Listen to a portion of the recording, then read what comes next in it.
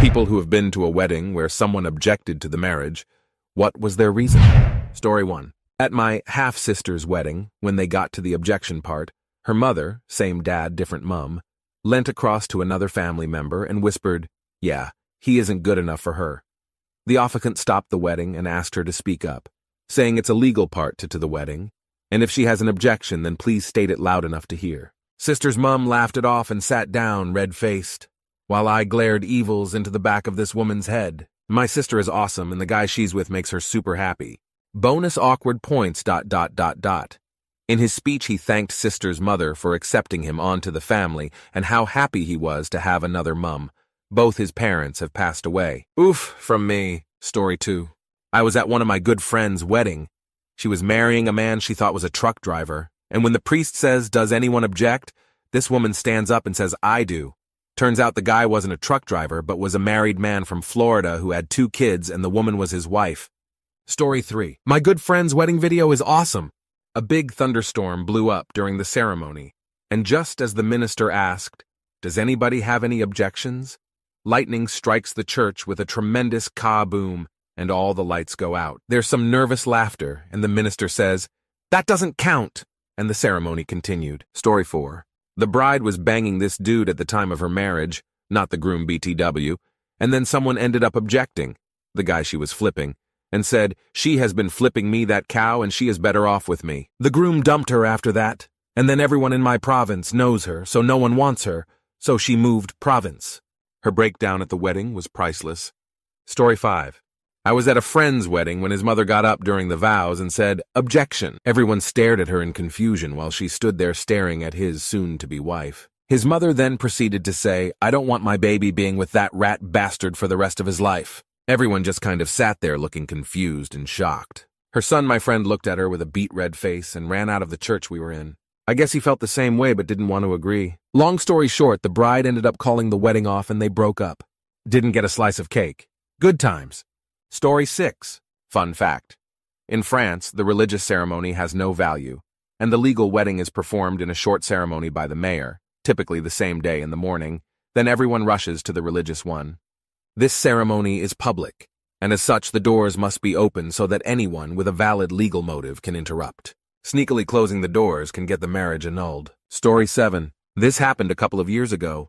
A work social friend of mine was getting married to a guy she had previously dated, but broke off the relationship because one night he was drunk and tried to strangle her. They were apart for a couple of years. He supposedly cleaned up and then started dating again. One night, we three were at a bar and my friend has to go to the restroom. As soon as she leaves the table, he nudges my elbow and tells me how loose her cat is and that it's wrecked and cow. I'm a guy. I told him she loves you, man. Don't talk about my friend like that. It's disrespectful and it'll end with me kicking your peach. He tells me, Fudge you. My friend comes back to the table and realizes there's enough tension to with a knife. I gave my friend a kiss on the cheek and called it a night. She called me later that evening and asked what happened. I gave it to her straight. I could hear her crying on the other end. She kept on dating this toxic piece of cow. A few months later, the wedding announcements were sent.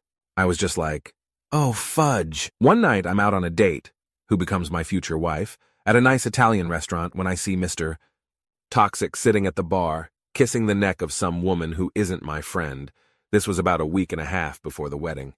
I whip out the phone and start filming. I got a good of him grabbing this lady's ball and putting his hand up her skirt, with her slapping his hand off. My future wife is like, Are you doing? I quietly explain the situation. After I got enough evidence, he sees me, comes over to the table and asks me what I'm doing there. I tell him that I'm doing what people do when they go to a restaurant. He asked me how long I was there. I said that we were just seated. He's like, okay, well, I was just getting a drink and am on my way home. I told him to drive safely. He walks out. The woman at the bar gets this confused look on her face and then runs after him. After a life-changing, fabulous date, besides the previous cow, I go over to my friend's house. Mr. Toxic's car isn't there. I show my friend the video, tell her that I ate hours ago, and she breaks down into a crying mess. I ask the question, You're not going to go through with the wedding, are you? She tells me that all the reservations have been made, the church booked, the caterers paid, the photographer paid, yada yada. I'm like, who gives a cow? No one wanted to see her married to a cheater. She says she doesn't want to marry him, but she's obligated. I'm good friends with her father. He's a hulking six four inches 300 pounds. Harley rider with a handlebar mustache. I pay him a visit. I show him the video, he turns red. Veins start showing up on his forehead. His hands start opening and closing and clenches. He says I explained to him what how his daughter feels obligated. He gives me a bear hug that just about breaks my back. He lets me go. I see he's crying profusely. He asks me if I could send him the video. I'm like, of course. The next day, my friend's dad calls me up and tells me that the wedding is going to now be a dodging a bullet ceremony with maybe Peach kicking for the finale. I told him that I would be more than happy to attend. My friend called me up and thanked me. She said that her dad dropped by and told her that he would not allow her to marry him. It was a load off her back. So we went over Mr. Toxic's guest list, no family, just friends, perfect. The day of the ceremony, Dad had a large flat screen TV plugged in on the dais. The preacher was warned, I guess, because Dad walked his daughter down the aisle, and when they got to the end, the preacher turned around and walked out.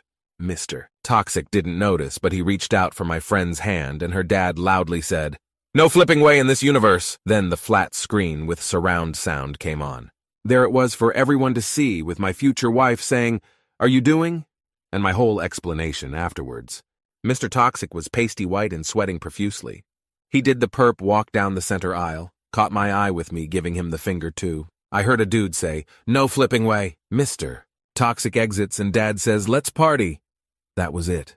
We had a great night. There were a couple times that my friend broke down crying, but overall she danced her peach off and laughed a lot. About six months later, she met the man of her dreams. Just a really fantastic guy. The wedding is this September. Story 8. Not an objection, but had a drunk guy friend tell me, the bride, to give him a call when things didn't work out. Obviously, him out of my circle. He called me a few years later, a week before his own wedding, and asked if I was still happy. My husband and I just celebrated 15 years together and look forward to many more. Story 9. Edit.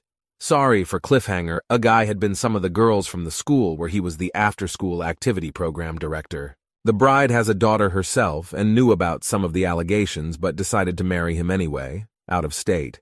While some of us were still invited and unbeknownst to her, a woman barges in cussing up a storm because her daughter is one of the ones that he, really bad, and she's in counseling because of it and he got off free. Was a full-out brawl, intruder lady and a few others were arrested and that was the end of that wedding. She ran off somewhere and I guess cried for the remainder of the evening and her family asked everyone to leave. She still married him, but eloped somewhere private and posted pictures on Facebook. Story 10. We didn't object, but it was hard to keep our mouths shut at my aunt's wedding. She'd had a hard life.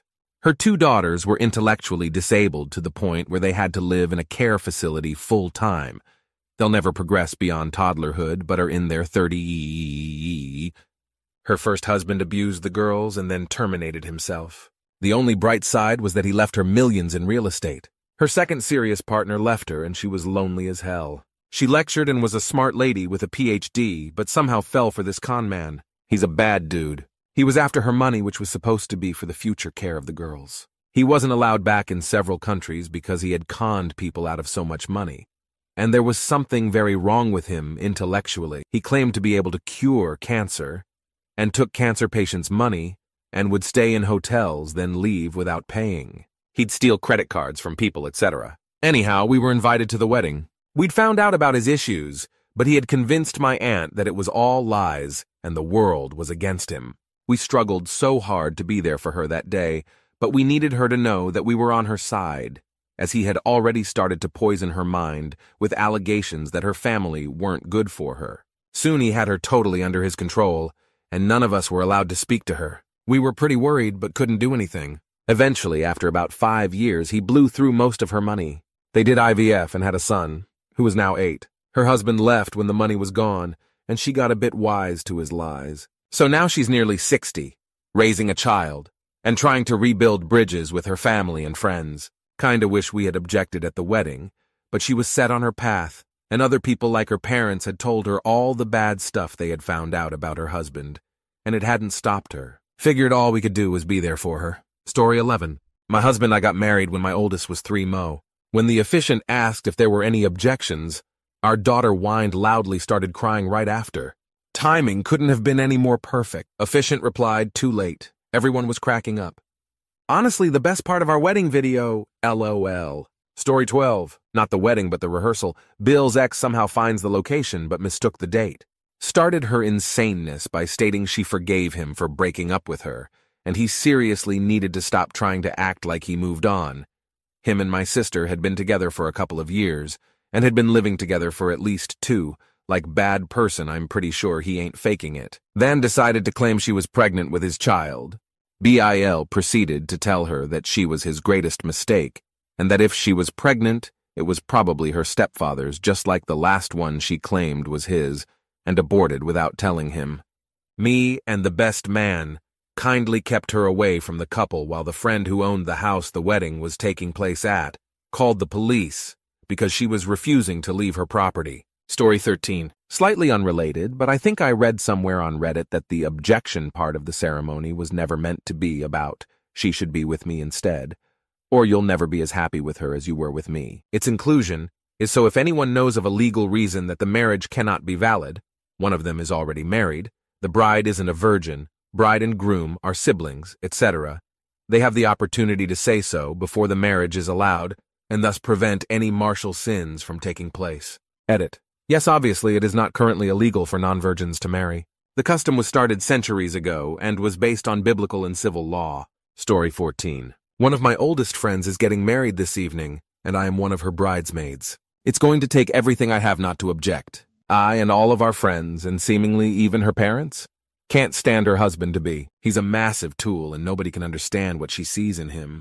He's not abusive or anything, just relentlessly try-hard and annoying. He's like the sheltered homeschool kid who enters the real world at age 21 and tries to adapt by acting all street. He vapes indoors and makes assault jokes and quotes things even 4chan would find 3 edgy 5 me. Story 15. I've posted this before. I objected to my friend getting married during the ceremony. We were at the White Chapel in Vegas with friends and I had been drinking so she just laughed it off. Well, she told me later she should have listened because he ended up back in prison. She's now with a good guy, but was having to do the whole back and forth to jail and then putting money on his books. Story 16. I was at the one wedding where the bride had only known the groom for what seemed like a day. They didn't seem like a good match. She was a good few feet taller than him, and it looked like it wouldn't work. Anyway, they're at the altar. The priest says his line, and this dude and his mate comes running in shouting he objects and confesses his love to the bride. The groom's buddies get a bit physical and a fight breaks out. Long story short, Groom gets eaten by a dragon, and the bride turns into an ogre, and they live in a swamp now with their three kids. So I guess it all worked out for them. Story 17. Glad you asked. I try to tell this story to everyone I can. My cousin had a rather extravagant wedding at an upscale golf course. I didn't really want to go because I knew he had hooked up with a friend in our group after he was engaged to the bride. But family pressure and an open bar persuaded me, and I'm oh no glad I went. I knew it was going to be good when our friend he cheated with was there. He's not the smartest man. Anyway, we have a few drinks at the bar and head to our seats for the ceremony. Apparently, they hit her pretty hard because at the moment of truth, she yells, I object, Your Honor. That man's banana is too small to satisfy. He is unfit for marriage. Like it was a goddamn court case. Everyone went silent for a second, and then I looked over at my buddy and we burst out laughing our asses off. Bride was pissed, slapped groom. They both cried, but after a brief break and conversation, they decided to go through with it. Unsurprisingly, they're getting divorced after a solid two-year marriage. Story 18. Not exactly an objection, but I worked as a photographer at a wedding chapel on the Vegas Strip. We had a young Chinese couple come in with their friends and get married. The minister did his normal speech, but when it came down to the vows, I could tell something was wrong. The groom kept putting the ring on the bride's finger and taking it off hesitantly. This went in for a few uncomfortable minutes. At one point, the groom asked the bride if there was someone else, and she nodded her head. After a couple more awkward moments, the minister explained that if he did not pronounce them man and wife, it wouldn't be legal. They decided not to get married. Their friends still bought the DVD, though. That was one of my favorite moments working there. Story 19. I remember it like it was yesterday. Everyone had gathered in a tight bunch. There were birds nesting in the nearby trees, watching with beady eyes. There were cries of kiss, kiss, kiss. It truly was a joyful occasion. Then there was this guy who called himself the school principal, burst through the crowd in a suit, and demanded for the whole thing to be called off, spouting things such as peer pressure and who was in charge of this. On hearing this, well, the crowd ran like hell, closely followed by the bride and groom. Ah, primary school weddings. Story 20. I was at this wedding and everything was going good so far, but we noticed this creepy guy sort of hanging out outside the church. We ignored him and thought he'd gone, and the ceremony started. The bride and groom were saying their vows, but then this same creep just bursts in and starts saying they can't get married because the bride is a worker, and starts shouting about how the goddamn door should be closed. He was dressed really weirdly as well. Who the fudge wears a top hat and red jacket to go crash a wedding? Story 21. Bride's sister and cousin both objected because the bride was flipping around and continued to do so a few weeks before the wedding. It was done the day before the wedding, though, and not during. They forced the bride to confess, and she did. Naturally, there was no wedding the next day. From the outside, they did look like a good couple, though. Story 22. Went to relative's wedding, someone reason. The lady objectee was the bride's girlfriend who she broke up with because of the wedding, but got pregnant by the groom because of a one drunken nightstand from the recent engagement party. Everything's in shambles because of the very, very shocking revelation. The costly wedding then got cancelled. Story 23. Had somewhat of the opposite happen to me. One of my closest friends got married to someone seven years ago. Turns out she had been interested in me and, in part, did not invite me to their wedding. We were not as close as we are now. There were a couple of reasons she didn't invite me. One of them was apparently she was afraid that if I showed up, she wouldn't have finished the ceremony. That was apparently one of many red flags she ignored. They seriously talked of divorce last summer. Husband went out and got himself a girlfriend while the process dragged on. Ex proposed to new girl before divorce was final. She said yes, and they set a November date. Divorce finalized, An ex-husband married his new girl at the courthouse the next day. Wonder how that cow show will go.